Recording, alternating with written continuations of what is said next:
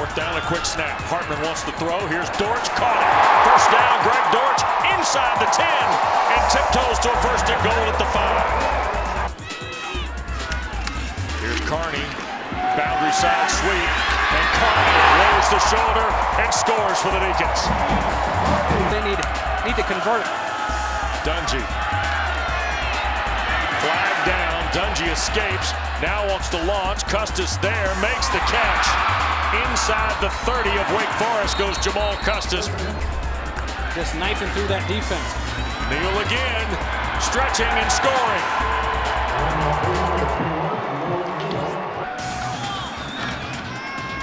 Hartman lost it. Ball loose. And it's picked up. McKinley Williams to the 10. Oh, big turnover here for Syracuse to get. Trying to make BB&T field there, Hauser. Should setting up shop in the backfield anyway. Much improved defense. And this is Howard scoring again.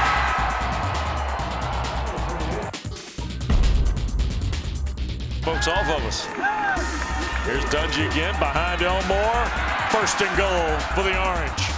In half, you got a defense just waiting to get back out there and go back to work. Look at Big Elmore get the carry. Chris Elmore at 282 pounds goes banging in for the touchdown. Tiptoe through there, let it develop and go move those chains. Wide open Washington. And up top here. Dungey up in the pocket, has the first down, at the five, has the touchdown. Can you? No, you got to hold serve. Quick throw, Dortch the catch. Greg Dortch reaches. Touchdown.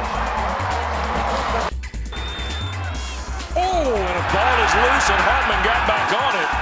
But a big lick. Did Syracuse recover it? They did. How about that?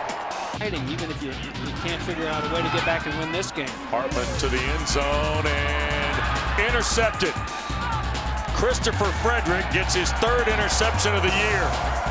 Dino Babers' team comes south and picked up the Atlantic Division win. They win 41-24, snap the eight-game losing streak on the road in the ACC.